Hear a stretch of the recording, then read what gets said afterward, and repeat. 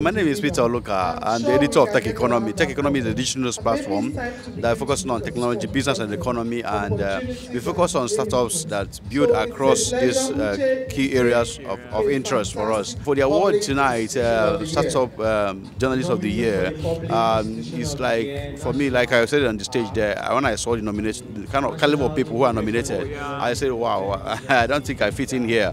But um, uh, Grace, let me say Grace, and the people who found found, found me worthy so to, to vote for me for this award. I'm grateful and I thank everyone who is involved, starting with the convener and the, the person who saw the need and is filling the gap. Future has not, not even looking at making gains now. What you're trying to do is to see that this ecosystem gets the kind of buzz, gets kind of, uh, um, um, um, um, you know, the, the, the, gets, gets um, the, the visibility needs. Visibility, yeah. It gets the visibility needs so that the people here will not just wink in the dark, but to see that uh, as, as we are building, that those who need those things we are building get to, to receive them. So I appreciate him, the team, and they have done wonderfully well.